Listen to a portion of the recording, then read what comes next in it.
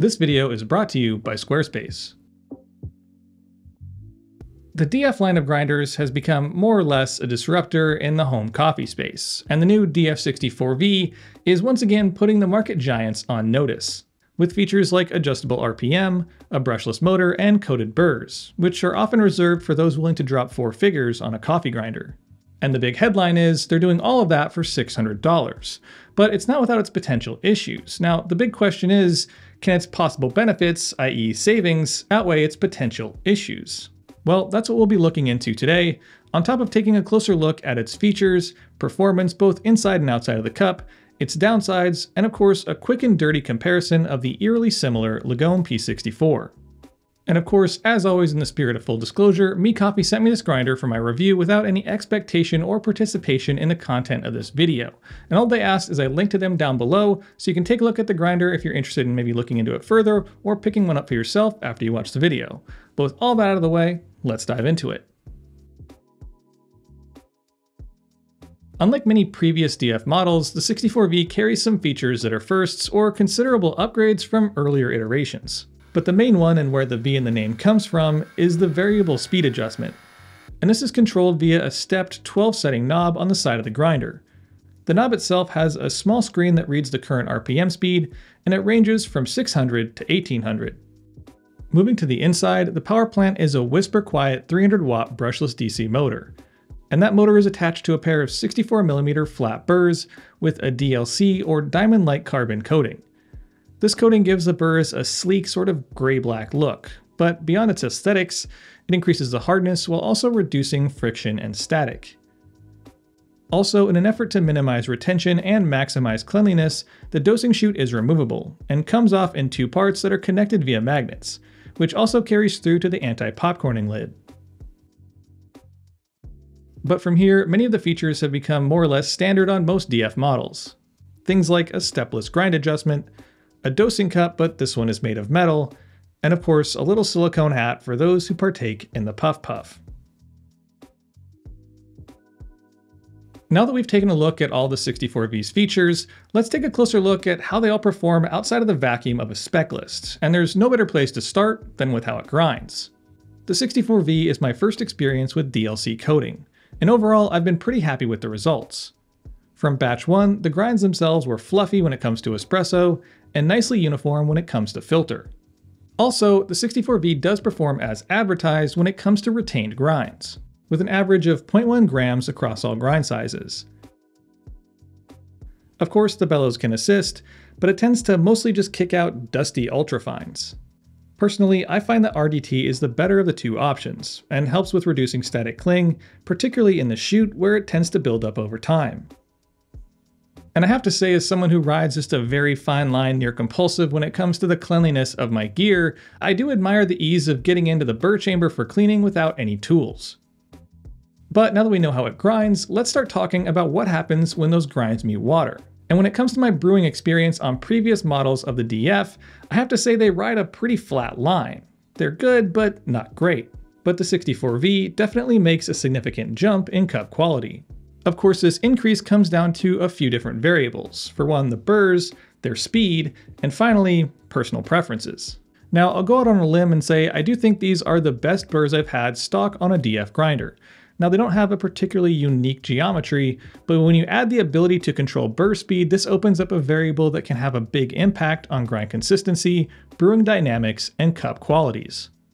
Now this is when the aforementioned personal preferences begin to kick in, because what I've found in my experience is that slower speeds create less fines and faster speeds create more. This is why the same dose on the same grind setting at 600 and 1800 RPM produce wildly different shots. Now, if you want a deeper analysis on that topic, I did do a video with a bunch of different tests and gave my two cents on that whole topic. And I'll link to that up here or down here. But long story short is a slower RPM creates less fines. And what that does is creates more clarity in the cup, while faster RPMs produce more fines, creating more complexity and just general balance. For instance, I generally want a nice middle ground between clarity, complexity, and texture when it comes to my espresso. So I found that 1100 was my preferred speed setting when pulling shots. The espressos themselves were full and balanced, but still carried through those subtle, bright, and fruity notes that I often aim for. But on the flip side, when it comes to filter coffee, I want clarity above all else. So when it comes to brewing on those, I would often grind on the lowest setting, which is 600, and that gave me bright cups with intense clarity and nuance. Alright, so now that we're freshly coming off the heels of talking about the benefits of RPM control, let's now talk about the downsides, and I'm just going to give it to you straight. It jams easily. When grinding at 1000 RPM or under, you'll need to always use a hot start, i.e. with the burrs already spinning, and dose your coffee in slowly. If you don't do both, there is a decent likelihood it'll jam.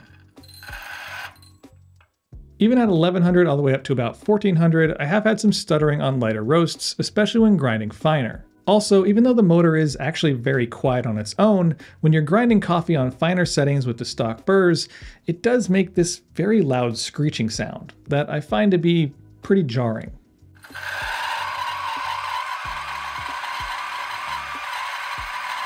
Last but not least, the choice to not give it forks for your portafilter or your dosing cup is a bit of a head scratcher. I can't say that I love having to move and keep track of this extra dosing cup platform. It's just a really odd design decision, and I'm not really sure where it comes from, especially considering how on top of community requests the DF grinders are. I mean, is this something people had asked for? I have no idea. For those who are familiar with the Lagom P64, which I am and you probably are, it's pretty hard to not compare it to the DF64V. I mean, just take a quick glance and you'll see why. But their similarities go far beyond what's on the surface. So let's just do a quick side-by-side -side to really drive that point home. They both use 64mm flat burrs. Both are single dosers. Both have stepless adjustments. Both claim very low retention. Both have variable speed control, both have 300 watt brushless DC motors, and both have machine encoded aluminum bodies. But I think the big question is, at least one on most people's minds, is why is the P64 $1,800 and the 64V 600 when their spec sheets look like carbon copies? Now, as a regular user of the P64 and it being my daily grinder, there are a few main points that really stand out to me, but none of them are associated with the quality of coffee each grinder is capable of. When equipped with the same burrs, on the same RPM, and the same coffee, both grinders produce near identical grinds, which, as you'd expect, leads to near identical cups of coffee. Instead, the difference to me seems much more subtle and kind of nebulous.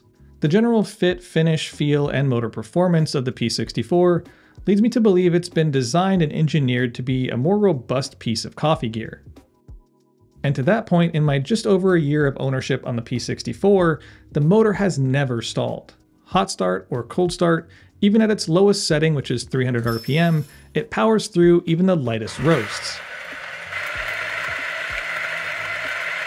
So overall, I don't have a whole lot of complaints about the P64, and I think the 64V is also a viable option considering its price difference and the P64's somewhat spotty availability. And arguably where it seems to matter most, in the cup, the differences are minimal if not indistinguishable.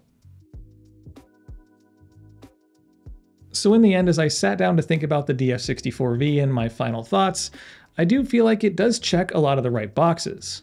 Many of its new features show a clear connection and understanding of not only what many coffee enthusiasts want, but also where their previous grinders may have fallen short.